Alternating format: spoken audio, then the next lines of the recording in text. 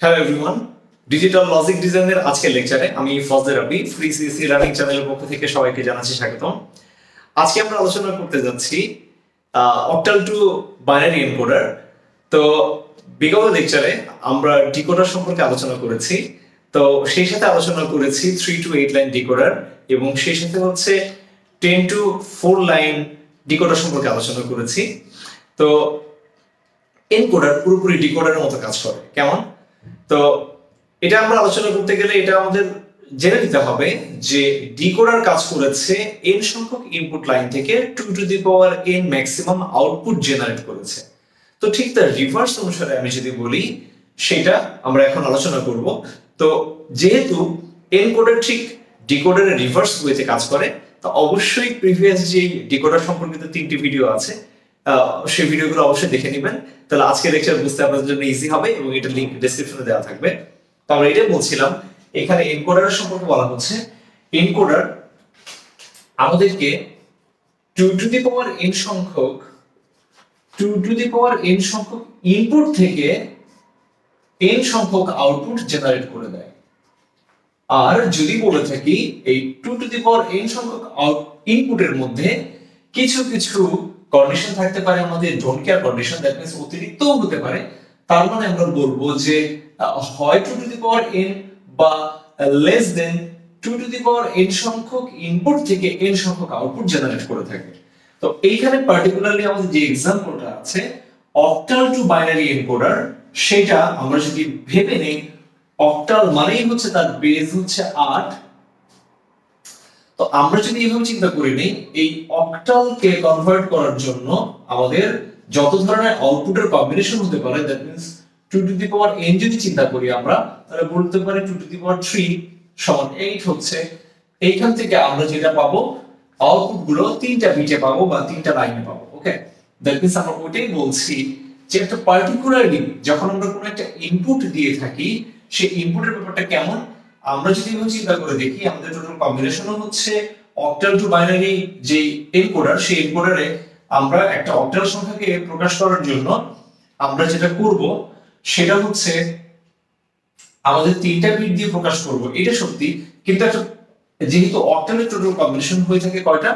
Total octal bit হয়ে থাকে zero থেকে সেভেন পর্যন্ত জিরো থেকে সেভেন পর্যন্ত টোটাল আমাদের আটটা। তো যদি বলে থাকি zero zero means zero means এনকোডারটা input এমন ভাবে নেয় যে ডিকোডারের একমাত্র ডি নটটা হাই থাকবে অন থাকবে, আর এট দ্য সেম টাইম আমাদের সকল ডিকোডারগুলো লো ইনপুট দিয়ে আমাদের এই ইনপুটটাকে পাস করে থাকে এই এনকোডারে ওকে দ্যাট মিন্স এই এনকোডারে যদি বলে থাকি ইনপুট আমরা দিব কি রকম 10000000 এই সব মিলিয়ে রিপ্রেজেন্ট করবে আমাদের অক্টাল যেই ডিজিটের কথা বলছি ওয়ান তার করসপন্ডে আমরা আমাদের আউটপুট পাবো কি? আমাদের আউটপুট পাবো হচ্ছে 000 ওকে তো এইটা বলতে পারি যে এইটারই এই অক্টাল ইনপুটের জন্য এইটা হচ্ছে তার বাইনারি কম্বিনেশন ওকে একইভাবে যদি বলি ওয়ান যদি ওয়ান হয়ে থাকে তার মানে হচ্ছে আমাদের সেকেন্ড যে ডিকোডারটা এনকোডারটা আছে, সেই এনকোডারের এই বিটটা ডি ওয়ান হচ্ছে তখন হাই হবে। এট দ্য সেম টাইম বাকি সবগুলো হচ্ছে জিরো সেই পার্টিকুলার কন্ডিশনে আমরা আমাদের এই আউটপুট পাবো হচ্ছে 001 ওকে তার মানে আমরা এটা বলতে পারি, আমাদের যে আউটপুট কম্বিনেশন সেটা হচ্ছে যে আটটা যে বাইনারি কম্বিনেশন হয়ে থাকে, সেগুলো আমি চাইলে একের পরে লিখে ফেলতে পারি। আমরা চাইলে এগুলো লিখতে পারি। 010 011 100 101 110 দেন হচ্ছে লাস্টে আমাদের 111 আমরা এটা বলতে পারি যে আমরা এইভাবে আউটপুটগুলো পাবো। দ্যাট মিন্স যেভাবে আমরা এনকোডারের ডিকোডারের কনসেপ্ট দিয়েছিলাম সেভাবে আমরা যদি এখন এনকোডারের সেই কনসেপ্টটা নিয়ে আসি, তাহলে আমরা বলব যে এই 2 যখন ইনপুট হবে, তখন d2 অন থাকবে বা d2 হাই হবে 3 যখন ইনপুট থাকবে 3 যখন ইনপুট হবে, আমাদের অক্টালে তখন হচ্ছে d3 হাই হবে। 4 যদি হয়, সেক্ষেত্রে d4 হাই হবে দেন d5 দেন পরবর্তীতে ডি d6 এবং d7 at the same time এই একটা ইনপুট একটা সিগন্যালের জন্য হাই হবে, আর বাকি যতগুলো কম্বিনেশন দেখতে পাচ্ছি আমরা, সকল কম্বিনেশন সকল জায়গাতে আমরা কি দিয়ে ফিল আপ করব? সেগুলো জিরো দিয়ে এগুলোকে ফিল আপ করে দিব। ওকে তো এইভাবে আমরা যখন পুরোটা কমপ্লিট করব কমপ্লিট করার পরে আমরা আমাদের জেনারেল যে ইকুয়েশন হবে, সেই ইকুয়েশনটা আমরা আমাদের, আমাদেরকে লিখে ফেলতে হবে। ওকে আমাদের লেখা শেষ। তো এখন যে বিষয়টা আমাদের দেখা প্রয়োজন এখানে, যে আমাদের এই এক্স ওয়াই জেড যে আমাদের আউটপুট যে আমরা আমাদের আউটপুটটা পাচ্ছি এক্স ওয়াই জেড এটার ইকুয়েশনটা কেমন? আমরা যদি দেখি এক্স ওয়াই এবং জেড যেহেতু তিনটা আউটপুট পাচ্ছি, তো কোন কোন জায়গাতে আমাদের এক্স আউটপুট দিচ্ছে? ওকে আমাদের আউটপুট পাচ্ছি, আমাদের কোন কোন জায়গাতে? আমরা যদি বলে থাকি, এই ওয়ান কোনটার জন্য অ্যাক্টিভ হচ্ছে? এটা আমাদের ডি এর জন্য অ্যাক্টিভ হচ্ছে। একইভাবে ডি ফাইভে এই যে এটা পরবর্তীতে যে ওয়ান সেটা হচ্ছে ডি ফাইভে পরবর্তী ওয়ানটা হচ্ছে আমাদের কততে? ডি সিক্সে তারপর হচ্ছে আমাদের ডি সেভেন তাহলে আমি বলতে পারি যে কোন কোন জায়গাতে ওয়ান হচ্ছে এক্সের জন্য। তাহলে দ্যাট আমরা বলব D four five six seven okay D four D five D six এবং ডি সেভেন এই চারটার জন্য আমার এই এক্স এ দিয়ে পাচ্ছি। দ্যাট মিন্স হয় যে কোনো একটা হলেই হবে। দ্যাট মিন্স সম্পর্কটা আমরা প্রকাশ করলাম কিসের মাধ্যমে? অরের মাধ্যমে প্রকাশ করলাম। পরবর্তীতে ওয়াই এর আউটপুটটা পাচ্ছি কোথায় কোথায়? আমরা বলতে পারি ওয়াই এর ফার্স্টে ওয়ান পাচ্ছি কততে? ফার্স্টে ওয়ান পাচ্ছি ডি টু তে দেন পরবর্তীতে ডি থ্রি তে ওকে ডি টু তে ডি তে, তার পরবর্তীতে কোথায় কোথায়? তার পরবর্তীতে হচ্ছে আমার ডি সিক্স এ এবং D seven okay D six এ এবং লাস্টে হচ্ছে কোথায়? এই যে লাস্টের ওয়ানটা তার মানে হচ্ছে এটা ডি সেভেন এর জন্য high that means D seven এরপর যদি বলি জেড কোথায় কোথায় আউটপুট দিচ্ছে? জেড আউটপুট দিচ্ছে এখানে ওয়ান কোথায় কোথায় পাচ্ছি?